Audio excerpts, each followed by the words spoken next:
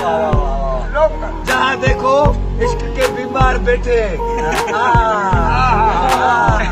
हज़ारों मर गए लाखों तैयार बैठे। लड़के अपनी ज़िंदगी बर्बाद लड़कियों के पीछे तालीम बर्बाद। फिर बोलते मौलवी साहब दुआ करो बेरोजगार बैठे।